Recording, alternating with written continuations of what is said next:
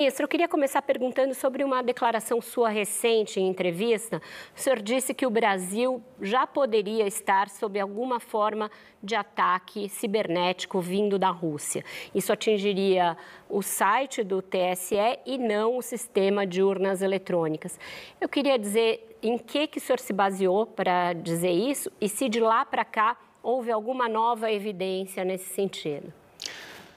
A sua pergunta permite distinguir algo que de fato é fundamental. A urna eletrônica não integra, não se conecta à rede mundial de computadores. Portanto, em relação à segurança das urnas eletrônicas, nós não temos nem risco, nem receio. Eis que elas compõem, portanto, um mecanismo e uma ferramenta à parte da rede mundial de computadores.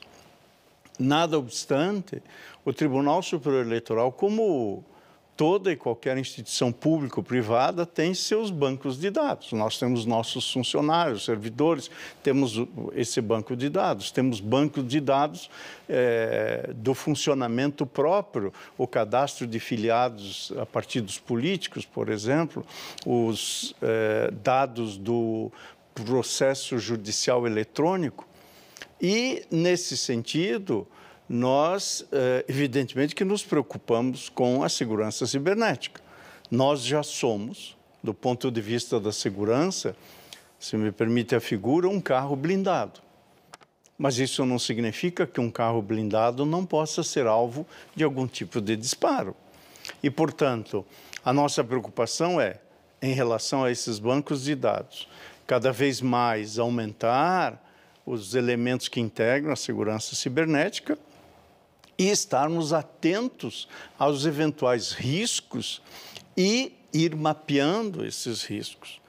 As informações recentes eh, do que se passou em alguns países, nomeadamente nos Estados Unidos da América do Norte, estão num relatório do Senado americano, do FBI norte-americano, que indicam alguns países que têm um nível quase zero de regulamentação para hospedagem desse tipo de pirataria cibernética criminosa e eh, quando ali me manifestei, estava, portanto, manifestando esta preocupação e também para dizer que nós estamos efetivamente atentos a isso e isso nada tem a ver com as urnas eletrônicas, tem a ver, como todas as instituições, com a proteção de seus bancos de dados.